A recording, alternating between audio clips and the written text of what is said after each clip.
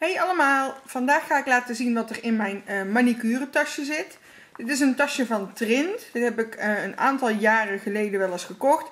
Er zat toen zo'n hele basisset in voor uh, ja, manicure om je natuurlijke nagels te verzorgen. En dit tasje heb ik eigenlijk altijd bewaard om mijn spulletjes in op te bergen. Er zit van alles in, dus ik ga het gewoon eventjes laten zien. Nou, hij zit behoorlijk vol. Als eerste zit het boekje van Trint erin. Uh, dit is gewoon een boekje waar alle spulletjes, alle producten van Trint uh, duidelijk staan omschreven. Uh, ja, inmiddels weet ik natuurlijk wel waar het allemaal voor is. Maar toch is het altijd wel handig om nog even wat dingetjes terug te lezen. Dus die zit er eigenlijk gewoon altijd in. verder zitten er natuurlijk altijd veilen in.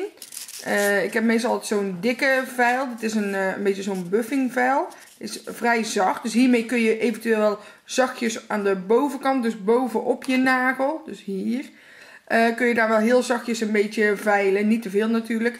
En deze is om de nagels gewoon wat korter te veilen. Ik heb ook twee glasveilen. Deze is van Ciaté. Zit in zo'n mooi hoesje.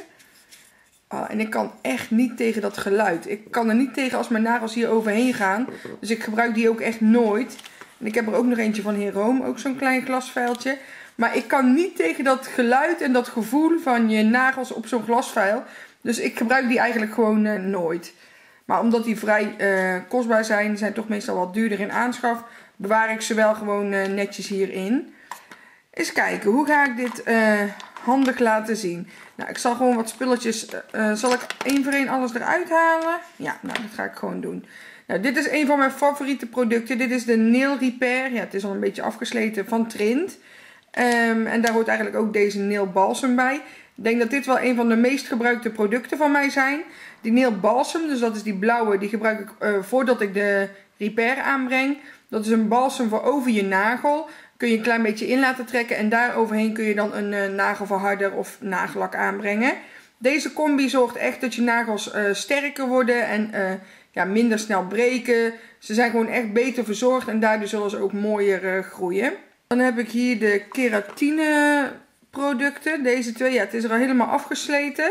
En dit is eigenlijk een beetje hetzelfde als die twee die ik net liet zien. Dus die Repair en die blauwe. En dit is eigenlijk een beetje zoiets. Alleen dit is uh, als je nagels echt wat extra hulp kunnen gebruiken. Dus bijvoorbeeld als je je kunstnagels hebt verwijderd. Of als je nagels echt veel te lijden gehad hebben. Dit is echt een oppepper voor je nagels. Dus deze gebruik ik ook wel eens. Het heeft een beetje hetzelfde effect. Maar het, het is eigenlijk nog net iets sterker dan die andere twee. Dan heb ik van Trint uh, nog de Cuticle Remover. Deze breng ik aan uh, als allereerste. Dus voordat ik mijn uh, nagels ga verzorgen breng ik eerst dit aan uh, op de nagelriemen en net op het randje op je nagelplaat, zeg maar. Dit weekt een beetje die velletjes los en die velletjes die op je nagels zitten. Dit laat je dan eventjes intrekken en daarna kun je het met een bokkenpootje heel makkelijk verwijderen. Het maakt je nagelriemen dus wat losser en het zorgt ervoor dat die lelijke velletjes een beetje weggaan.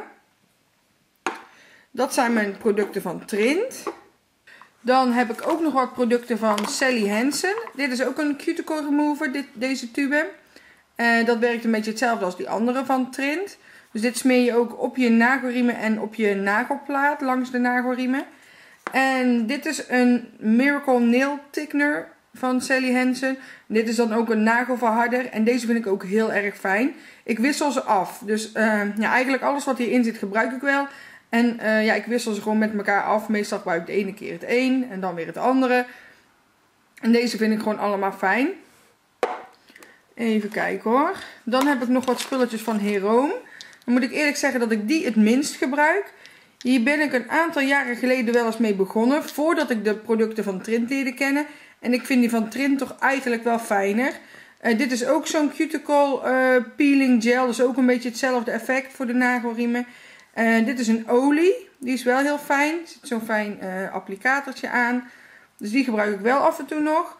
Uh, dit is een cuticle cream. Oh. Deze dus. En dit is om je nagelriemen te verzorgen. Dus daar kun je gewoon je nagelriemen goed mee insmeren. Dan heb ik nog dit dingetje. Dit is voor uh, beschadigde nagels. Dus met zo'n pipetje. En dit kun je dan uh, met druppeltjes op je nagelplaat doen. Dat gebruik ik ook af en toe nog wel eens. En dan uh, doe ik daar overheen dan een uh, crème. En ik zie nou dat hij er niet in zit. Volgens mij staat hij nog op mijn nachtkastje. Ehm, dat is natuurlijk de Lemony Flutter van Lush. Die zit ook meestal hierin. Of hij staat op mijn nachtkastje. Want daar smeer ik dan ook mijn nagelriemen goed mee in. En dat doe ik dan vaak ook in combinatie met deze of met een andere olie. Dat ze echt goed in kunnen trekken s'nachts. Dit is nog zo'n potje om uh, je nagellak te verwijderen. Er zitten van die watjes in. Die zijn gewoon al uh, nat met nagellakremover. Die gebruik ik eigenlijk alleen in geval van nood. Dus het zit hierin. Als ik dan echt nog iets erop heb, kan ik het eventjes snel uh, eraf halen. verder zit er nog een handcrème in, een kleine van Heroom. En zo'n pennetje met olie ook. Dus daar kun je even snel je nagelriemen mee verzorgen als ze wat droog zijn. Vind ik wel heel fijn en die heb ik ook heel veel gebruikt. En ik gebruik dit ook heel vaak als ik bijvoorbeeld mijn nagels gelakt heb. En ik moet ze op de foto zetten nog voor swatches voor de site. Dan ga ik even snel met dat stiftje langs mijn nagelriemen. En dan kun je heel snel en heel eenvoudig eventjes toch die droge randjes een klein beetje verzorgen. En dan uh, staat het net iets mooier als je op de foto gaat. Verder heb ik hier onderin nog wat uh, tools. Dus zit eigenlijk nog van alles. Wat uh, bokkenpootjes. Dit is wel een fijne. Dit is wel een ijzeren. Dus je moet wel altijd een beetje voorzichtig zijn. Maar uh, hier kun je heel makkelijk velletjes van je nagelplaat mee halen. En hier kun je je nagelriemen voorzichtig mee naar achter duwen. Maar ik vind zo'n uh, rubberen ook heel erg fijn. Hier kun je ook heel goed uh, je nagelriemen mee naar achter duwen. Deze is lekker zacht. En ja, verder zitten nog wat van die stokjes in. Ook altijd handig. wat van die knippertjes. Hiermee kun je nog wat losse velletjes wegknippen. Um, en dit is nog een tabletje voor in een handbadje ik ook al heel lang en ik heb hem nog steeds niet gebruikt. Zou ik toch eens moeten doen. En dat was het eigenlijk wel. Het enige wat hier nu niet in zit is dus mijn Lemony Flutter. Die gebruik ik ook uh, ja, ja, heel vaak. Ik zal niet zeggen iedere dag, maar toch wel een paar keer per week. Daar smeer ik dan mijn nagelriemen heel goed mee in. En uh, soms ga ja, dat doe ik sowieso voor het slapen. Dan kan het gewoon heel de nacht goed intrekken.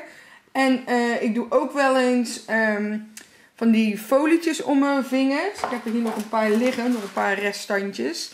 Dit zijn uh, degene die ik gebruikt heb. Die zaten nog in deze handschoentjes. Dit zijn van die papiertjes waar je uh, die gel uh, polish mee af kan weken. Die doe ik dan om mijn vingers heen. Als ik ze helemaal heb ingesmeerd met olie en crème. Echt een dikke laag. En dan doe ik die folie eromheen. En vervolgens doe ik dan die handschoentjes aan. Dus dan blijven die folietjes goed om je vingers zitten. En dan uh, ja, kan het goed intrekken. Uh, ja, dat probeer ik nu sowieso één keer in de week te doen. Het liefst eigenlijk nog vaker. Omdat mijn nagelriemen er op het moment niet zo heel goed uitzien. Uh, nou moet ik wel zeggen, als ik gewoon nagellak draag, gaat het beter. Dan blijf ik ook beter van die velletjes af. Maar soms probeer ik wel eens geen nagellak te dragen. Want dan denk ik, ik ga mijn nagels even goed verzorgen. En omdat ik dat hele ritueeltje dus bijna iedere dag doe, vind ik het zonde om mijn nagels helemaal uitgebreid te lakken. Omdat ik het dan de volgende dag weer eraf moet halen. Maar ik merk wel als ik ze dus gelakt heb en ik laat dit een aantal dagen zitten. Dan blijf ik veel beter van die uh, nagelriemen af.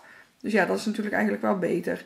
Dus, maar het gaat nu de goede kant op. Ze zijn al iets meer gegroeid. Um, mijn nagelriemen zijn ook een beetje mooier geworden. Dus ik moet ze gewoon goed blijven verzorgen.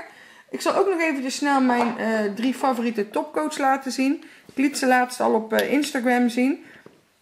Uh, dit zijn mijn drie favorieten. Vooral deze van Sally Hansen vind ik echt heel erg fijn. Deze lakt heel fijn en hij droogt super snel. Dus dit is eigenlijk wel mijn favoriet. Deze werkt eigenlijk wel een beetje hetzelfde. Is eigenlijk ook wel een hele fijne. Maar de laatste tijd heb ik toch veel meer die van Sally Hansen gebruikt. En deze is van Conad. En deze gebruik ik altijd over mijn uh, nail art heen. Net als deze nail art. Als ik hier dan uh, die topcoat overheen doe, dan trekt het niet de kleurtjes door elkaar. En dat wil je dus ook niet, want uh, je wil natuurlijk niet dat heel je nail art verpest is als je de topcoat aanbrengt. Dus um, nu hebben jullie de meeste producten wel gezien. Ik hoop dat jullie het leuk vonden en dat jullie het nuttig vonden. Ik zal in het artikel op mijn uh, site nog wat extra informatie zetten over de verkooppunten en dat soort dingen. Dus mocht je dat willen weten, kijk dan eventjes op mijn blog. Als je dit filmpje leuk vond, doe dan eventjes je duimpje omhoog. En dan wil ik jullie bedanken voor het kijken en tot de volgende keer.